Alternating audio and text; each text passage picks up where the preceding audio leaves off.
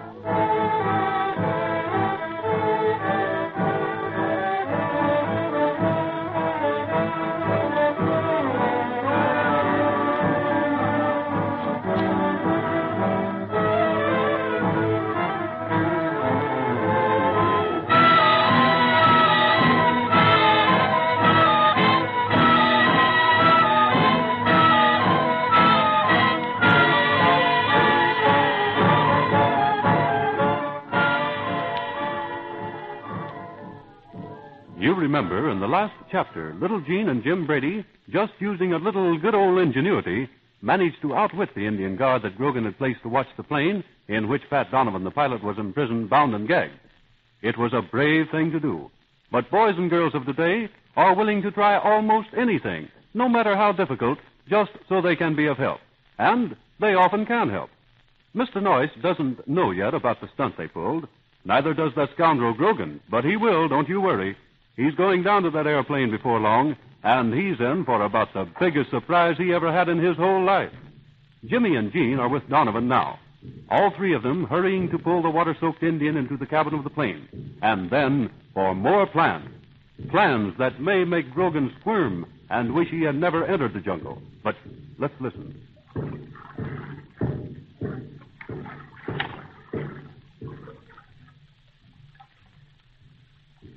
You know, Pat, about all I've done since I came into this terrible country is get soaking wet. Gosh, I've been in and out of rivers so often, I'm beginning to feel like a sardine. well, it certainly was a mighty fine stunt you two pulled. Begorry, I could hardly believe my own eyes when I saw Jean here come into the cabin. And I'll never be forgetting that. But didn't you hear us? Didn't you sort of suspicion that something was up?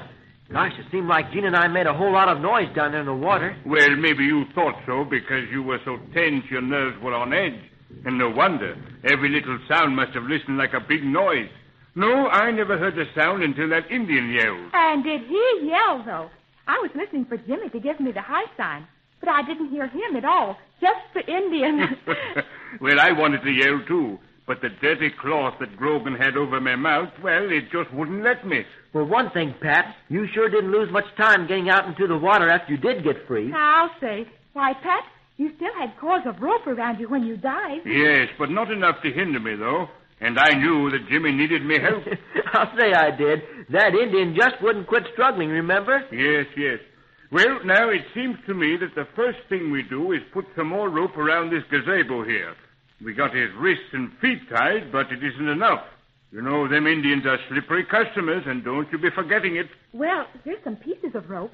Too bad I had to cut it up so badly when I set you free. Oh, never mind that, Miss Jean. So we'll just use a few more pieces here and put them where they'll do the most good. Then let's all get to work. We'll all tie some knots. Well, now, Miss Jean, I wondered if you'd leave that to Jimmy and me here. Uh, we need someone to keep watch out there.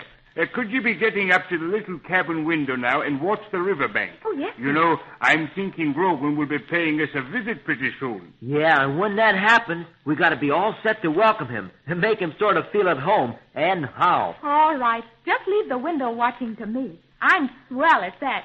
I had a lot of experience lately. But, gee, I sure do wish I had some dry clothes, though.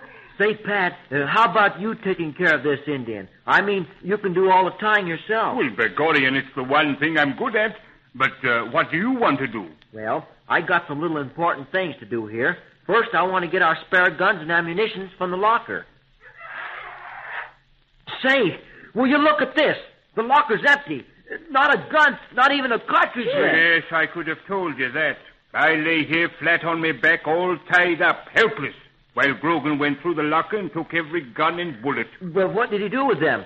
Surely he didn't throw them to the river, Pat. No, no, he handed them out the door to Indians in a canoe. And you know, I'm thinking maybe they're up in the village somewhere. Oh, gosh, Jimmy. That about ruins all our plans. Mr. Norris needs a gun, and so does Pedro. Well, and so do I. But we'll have to do the next best thing. I don't know what that's going to be at all, at all. Oh, I guess we're licked.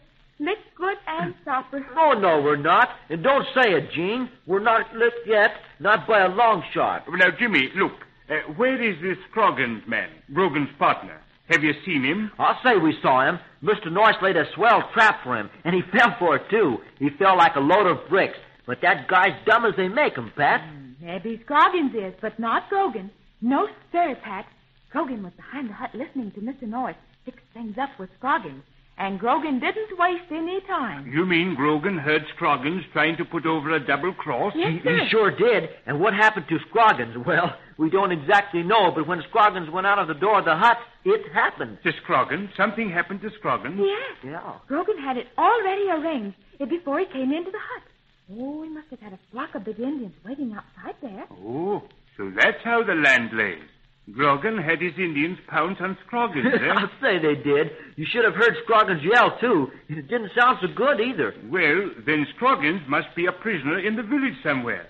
Eh, anyone else but Grogan would have used a gun or a spear, but that method is too swift for Grogan. He likes to see his enemies suffer. And I suppose it's the anthills for Scroggins, too. Well, Mr. Norris and Pedro are going to have company, it seems. Oh, no, they're not. Not if we can do anything about it, Jean. And it's certainly up to us, too. Well, now, if you two have any plans, no matter how impossible they may appear, uh, let me hear them. I'm with you to the finish. You know, I still got me two fists and I can use them. Well, that's one of the reasons we swam out to this plane and got you loose, Pat. We can't do much without you. We've got one chance, Pat, and it's just one. Scroggins hid his automatic under his bedroll in his hut. That's certain, because we saw him hide it there. Yes? He came out with his holster empty. Oh, then you think we could maybe sneak into the village and get hold of that gun? Well, maybe we can, Pat, but it isn't going to be so easy. You see, Jean and I already tried it. We found some Indians there, though. Oh, yes, Pat. And they hollered at us. I guess they were telling us to get out and stay out. It sounded like it. Yes. Well, then Scroggins is a, is a prisoner in his own hut. That's why the Indians were there. And whereabouts is this hut where Mr. Noice and Pedro are being kept? Well, it's almost directly across the street. We sat in the hut with Mr. Noice and watched Scroggins when he went to hide his gun. That's why we know that it's almost directly across, see? Hmm. Well, how about coming up behind the hut then, from among the trees? Well, that's the only way it can be done. But Grogan warned Jimmy and me that he had Indian guards all over the place. Oh, guards, eh? Well, now that makes it more difficult. But for them, we could make it. Uh-oh. Them Indian drums are making more noise up there in the village than I ever heard before. Yeah, it's the beginning of the celebration, Pat. Uh, Grogan explained it, and so did Mr. Noice. The anthill stuff is supposed to take place tomorrow, and tonight they celebrate the occasion. Well, then look now. If the Indians get going on this celebration, as they get all hot and bothered, maybe the guards will let down a little. You mean that we might be able to do something when the dance is going full blast? Well, that's what I'm thinking. Maybe with all the noise and the drums and the shouting and the yelling, we can slip in quietly, even though we have to dress up like Indians to fool them. Well, count me in on that, Pat. I guess that goes for me, too. Well, very good. Now, this big red man here, I guess we got him nicely taken care of.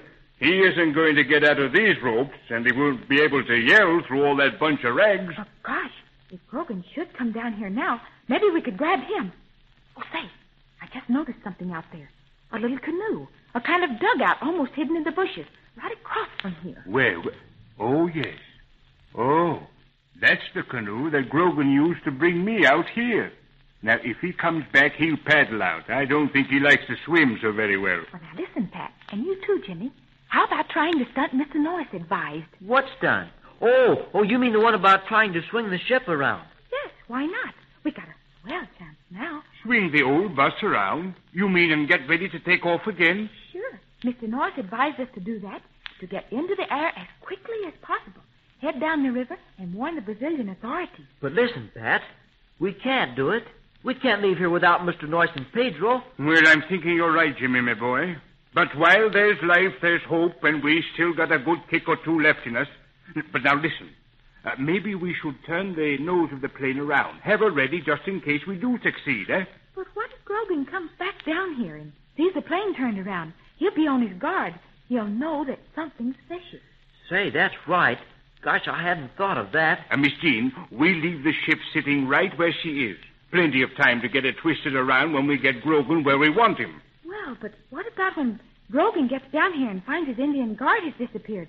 Isn't he going to be kind of suspicious? Well, I thought of that too, Miss Jean, but we'll just have to chance it.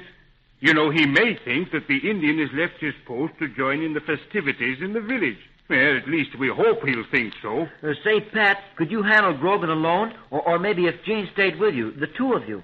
Oh, but what about you, Jimmy? Where do you think you're going? I'm going up to the village. Look, Jean, you remember that box of stuff I brought with me? That stuff that Uncle said was just excess baggage? Oh, you mean all the duplickies, the tricks and things? Sure.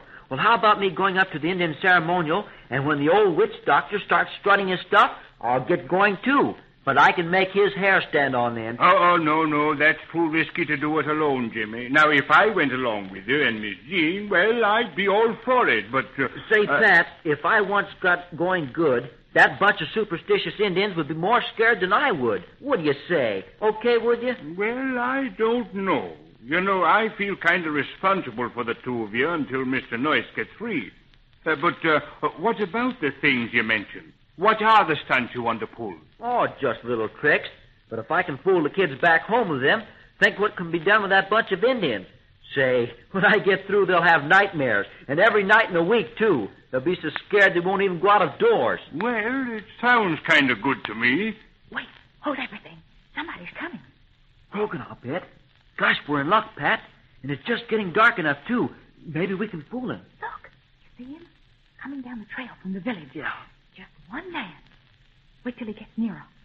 That clump of trees, the big ones to the left. Do you see him now? Come on, Pat. Let's get to our battle station.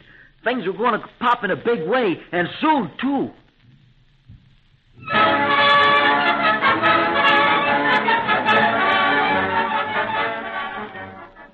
Things are going to pop. Is it Butch Grogan coming down the path? Will he cross in the little canoe? What will Donovan and the children do without a weapon? And will the coming darkness cover their actions? Big things will happen in the next episode of The Black Flame of the Amazon.